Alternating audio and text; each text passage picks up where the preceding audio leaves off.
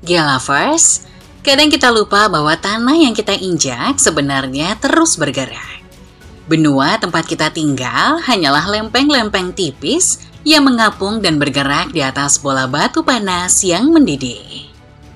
Dalam jutaan tahun, lempeng-lempeng ini bergesekan, saling tarik-menarik, dan bertabrakan.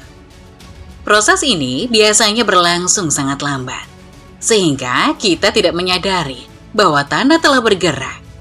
Pergerakan lempeng-lempeng ini dapat menyebabkan lempeng-lempeng pecah, membentuk retakan, dan berpotensi menyebabkan terbentuknya batas-batas lempeng baru. Sebuah peristiwa menggemparkan terjadi pada tahun 2018. Retakan besar terbuka di tanah di Kenya Barat Daya sepanjang 15 kilometer. Retakan tersebut muncul tiba-tiba setelah hujan lebat, berukuran beberapa kilometer panjangnya dan menelan sebagian jalan raya Nairobi Narok. Peristiwa tersebut membuat para ilmuwan merasa ngeri. Karena lokasi retakan tersebut berada di dalam lembah retakan Kenya yang memicu kembali perdebatan selama puluhan tahun tentang apakah Afrika suatu hari nanti akan terpecah. Mengingat lembah tersebut merupakan bagian dari wilayah yang disebut retakan Afrika Timur, salah satu wilayah dengan aktivitas tektonik paling aktif di dunia.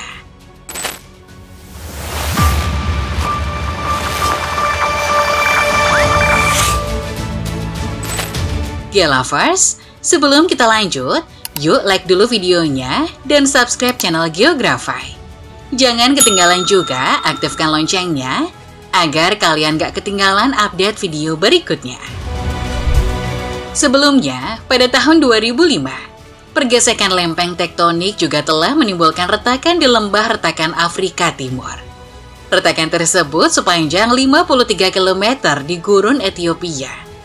Lembah retakan Afrika Timur sendiri membentang lebih dari 3.500 km dari Teluk Aden di utara menuju Zimbabwe di selatan membelah lempeng Afrika menjadi dua bagian yang tidak sama, yakni lempeng Somalia dan Nubia.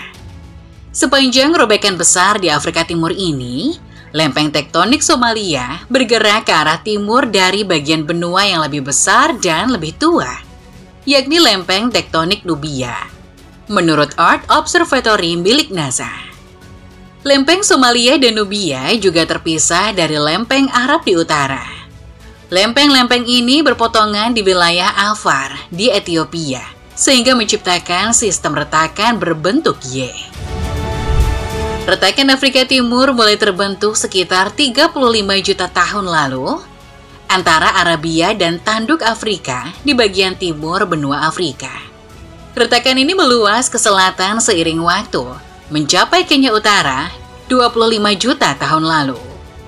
Retakan Afrika Timur terdiri dari dua rangkaian retakan yang sejajar di kerak bumi. Retakan timur melewati Ethiopia dan Kenya, sementara retakan barat membentang dari Uganda hingga Malawi. Kondisi tanah di atasnya pun berbeda. Cabang timur gersang, sementara cabang barat terletak di perbatasan hutan hujan Kongo. Peristiwa retakan yang terjadi di tahun 2005 dan 2018 adalah gejala awal dari perpecahan benua. Namun kita tidak akan memiliki kesempatan melihat proses terbelahnya benua Afrika karena proses keretakan akan memakan waktu puluhan juta tahun untuk terpecah sepenuhnya. Sebagai perbandingan, saat ini lempeng-lempeng tersebut bergerak dengan kecepatan rata-rata 0,7 cm per tahun.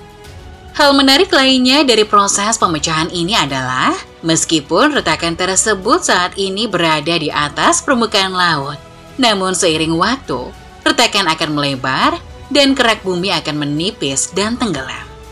Akhirnya, jalur laut kecil akan mulai menyerbu zona retakan, seperti yang terjadi pada Laut Merah yang akan mengubah geografi wilayah tersebut dan menciptakan benua kecilnya sendiri.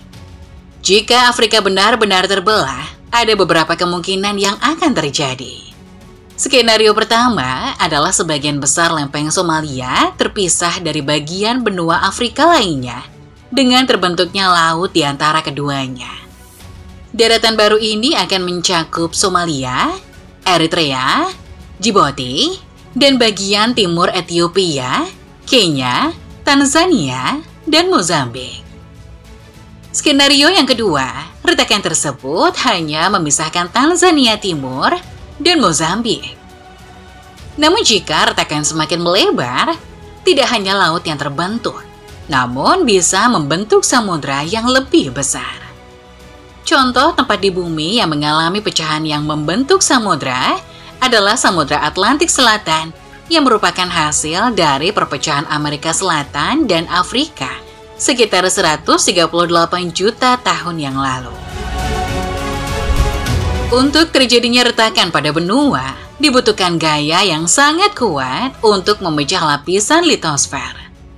Retakan di Afrika Timur adalah jenis retakan aktif yang tekanannya berasal dari pergerakan mantel di bawahnya. Di bawah retakan ini ada gumpalan besar mantel yang naik dan mendorong litosfer ke atas. Menyebabkan lapisan ini menjadi lebih panas, meregang, dan akhirnya pecah. Bukti keberadaan gumpalan mantel yang lebih panas dari biasanya ini telah ditemukan dalam data geofisika dan sering disebut sebagai African Superswell.